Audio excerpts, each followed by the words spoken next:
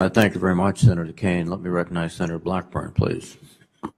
Thank you, Mr. Chairman, and congratulations to each of you on your nominations, and thank you for your time today to answer our questions. Um, Mr. Cisneros, I want to start with you, and let me just say, I'm going to have questions for the record for each of you. I know I'm not going to get through all of this, but Mr. Cisneros, um, we talk a lot about readiness in this community, and of course, uh, uh, through the years, whether I was in the House or here, working with Fort Campbell, uh, and many of our families that are there, we've talked a lot more than just about personnel and training and equipment. We talk about families and family readiness. And um, I, I think that as we look more holistically at our military and as we look at dwell times and retention, then we need to look at the fa- family readiness component. And I'd like to hear from you how you think we can better account for family readiness and what we can do with some of the programs that have been successful, like the Family Advocacy Program and the New Parent Support Program, which has been vital for many of our young men and women, uh, the Exceptional Family Member Program.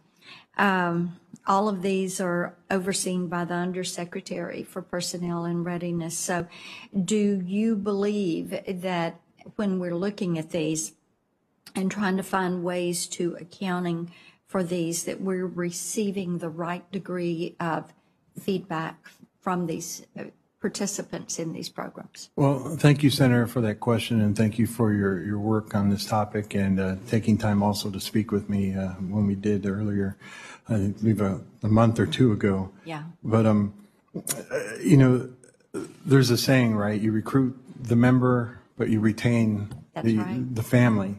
And it, it's, it's so important, right, that we need to focus on these family uh, topics. Uh, You know, for example, uh, when I was in the House of Representatives, uh, I remember sitting in a hearing uh, where where spouses were there talking about the exceptional family members uh, and how when you say like take a more holistic approach, but these members were like at joint bases and they couldn't go use the local facilities there because it wasn't their branch of service.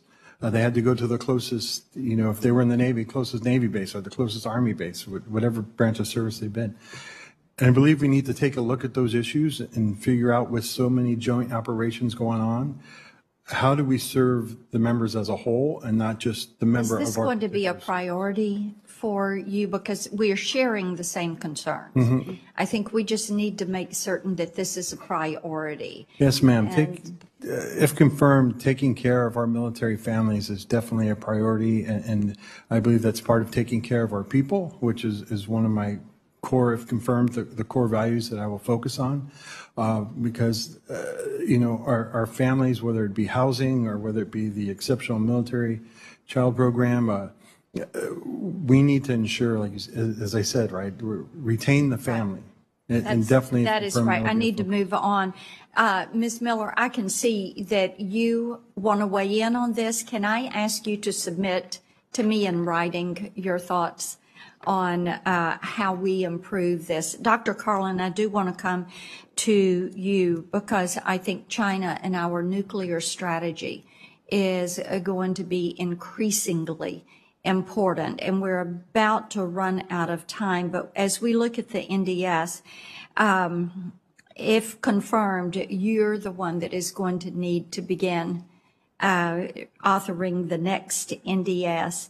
I want to hear from you uh, how you would prioritize China in that, and then also um, China expanding their nuclear arsenal and how that affects us. And we're about out of time, but I'd love to hear your response to those two.